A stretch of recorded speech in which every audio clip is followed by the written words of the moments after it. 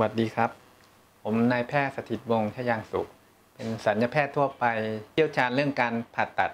สองกล้อง แล้วก็ผ่าตัดเกี่ยวกับโรคมะเร็งนะครับ เป็นสัญญแพทย์ประจำโรงพยาบาลจุฬารัตน์9แอร์พอร์ตมะเร็งเต้านมในประเทศไทย พบได้บ่อยเป็นอันดับ2นะครับของมะเร็งแล้วก็เป็นสาเหตุของการเสียชีวิตอันดับ 2 ในผู้หญิงนะครับรองจากมะเร็งปากมดลูก มะเร็งเต้านมเนี่ยเกิดจากการเปลี่ยนเปลี่ยนแปลงของตัวเซลล์เยื่อบุของท่อน้ำนม ซึ่งเกิดเองไม่มีสาเหตุนะครับ แต่มันจะมีปัจจัยเสี่ยงหลาย ๆ อย่างที่ทำให้เกิดมะเร็งนะครับหนึ่งคือพันธุกรรม พันธุกรรมก็คืออาจจะมีประวัติญาติพี่น้องในครอบครัวเป็นมะเร็งนะครับ โดยเฉพาะถ้ามีประวัติมากกว่า 2 คนขึ้นไป ในญาติที่เป็นสายตรงเนี่ยแสดงว่ามันมียีนซึ่งสามารถถ่ายทอดไปสู่เเราได้นะครับ เพราะฉะนั้นโอกาสที่เราจะเป็นมะเร็ง เยอะขึ้นนะครับสองก็คือเรื่องของอาหารการกินแล้วก็การสัมผัส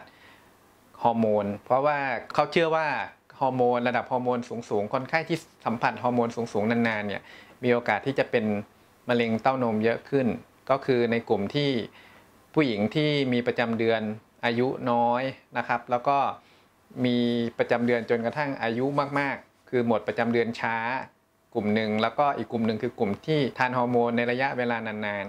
ลุ่มพวกนี้มีความเสี่ยงที่จะเกิดมะเร็งของเต้านม เพราะว่าตัวฮอร์โมนจะกระตุ้นให้มีการเปลี่ยนแปลงของเซลล์ของต่อมน้ำนมทำให้มีการเปลี่ยนแปลงซึ่งพัฒนากลายไปเป็นมะเร็งได้ อาการในระยะแรกที่จะบ่งชี้ว่าเป็นนะครับปกติเนี่ยถ้าในมะเร็งเต้านมเนี่ยแทบจะไม่มีอาการเลยเลย ส่วนใหญ่คนไข้จะมาด้วยก้อนนะครับ ก้อนที่ไม่เจ็บ ปัญหาคือคนไข้ส่วนใหญ่ถ้าไม่รู้สึกเจ็บเนี่ยก็จะไม่ค่อยมาพบแพทย์ ส่วนใหญ่ จริงๆ ก้อนในเต้านมเนี่ยหลักๆ มีอยู่ 3 อย่างมีครับมีซีดมีเนื้องอกแล้วก็มีมะเร็ง ตัวซีดนี่คือถุงน้ำพวกนี้จะมาด้วยอาการปวด อันนี้เป็นสาเหตุหลักๆ ที่ผู้หญิงมักจะมาพบแพทย์คือมันมักจะคำได้ก้อนแล้วก็มีอาการปวด ก็จะรีบมาโรงพยาบาลกลัวว่าจะเป็นมะเร็งแต่จริง แล้วพวกนี้มันเป็นโรคส่วนใหญ่จะเป็นซีดซึ่งพวกนี้ไม่ไม่ใช่มะเร็งแล้วก็ไม่กลายเป็นมะเร็ง ส่วนเนื้องอกกับมะเร็งเนี่ยส่วนใหญ่มาด้วยก้อน ซึ่งไม่มีอาการปวด ในผู้หญิงหลาย ๆ คนเนี่ยเจอก้อนตั้งนานแล้ว แต่ว่ามันไม่มีอาการเจ็บ ก็เลยคิดว่ามันไม่เป็นมะเร็ง อันนี้คือคงต้องไปทำความเข้าใจกับผู้หญิงทุกคนนะครับ ว่าไอ้ก้อนที่ไม่มีอาการเจ็บเนี่ยมันมีความเสี่ยงที่จะกลายไปเป็นมะเร็ง หรือเป็นเนื้องอกค่อนข้างเยอะ เพราะฉะนั้นเมื่อไหร่เราคำเจอก้อน ควรจะมาพบแพทย์ อันนี้ปัญหาคือ กว่าเราจะรู้ว่ามันมีก้อนเนี่ย มันคงจะต้องมีขนาดค่อนข้างใหญ่พอสมควรนะครับบทวินิจฉัยในโรคมะเร็งนะครับ มีวิธีใดบ้าง จริงๆ หลักๆ ที่สำคัญที่สุดคือการตรวจร่างกายนะครับ โดยเฉพาะผู้หญิงทุกคนเนี่ย เราควรจะตรวจร่างกายตัวเราเองทุกเดือนนะครับ อย่างน้อยเราควรจะเจอโรคก่อนที่จะมาพบแพทย์นะครับ ไม่ใช่ มาตรวจประจำปี แล้วมาเจอก้อนทีหลังมันไม่ควรเป็นแบบนั้น อันนี้ควรจะตรวจเมื่อไหร่ ควรจะตรวจหลังจากหมดประจำเดือนประมาณ 7 วันในผู้หญิง เพราะว่าช่วงที่มีประจำเดือนเต้านมมันจะคัดแล้วมันจะตึงมากเพราะฉะนั้นโอกาสที่จะคำเจอก้อนเนี่ยมันค่อนข้างยาก ส่วนใหญ่เราจะทิ้งช่วงเวลาจนกระทั่งประจำเดือนเริ่มหมดหลัง จากนั้นประมาณสักเจ็ดวัน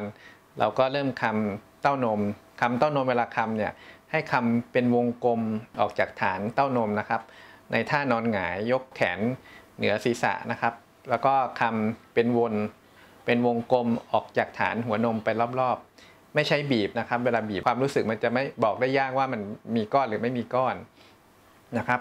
ถ้ามีก้อนเมื่อไหร่ให้มาพบแพทย์ แล้วก็อีกตำแหน่งหนึ่งที่สำคัญคือตำแหน่งรักแร้นะครับ หลาย ๆ ครั้งที่เราเจอก้อนที่รักแร้ก่อนที่จะเจอก้อนที่เต้านมก้อนที่รักแร้ส่วนใหญ่จะเป็นต่อมน้ำเหลือง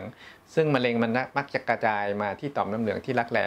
นะครับส่วนอีกวิธีหนึ่งวิธีนี้แม่นยำกว่าการตรวจด้วยมือ คือการทำเอ็กซเรย์เต้านมร่วมกับอันตราซาวหรือที่เรียกว่าแมมโมแกรม ข้อดีคือเราสามารถที่จะเจอ